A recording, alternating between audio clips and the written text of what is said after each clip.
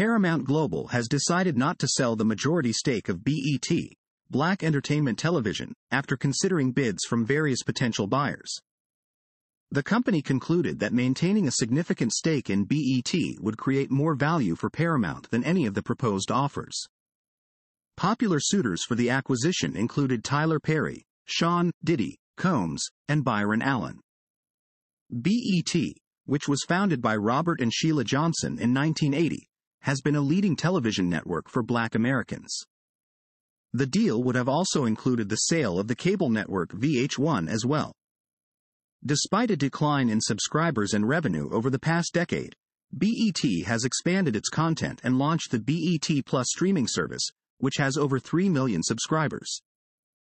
The network's programming has evolved over the years, and it remains a platform for showcasing positive images of black people while addressing past criticisms.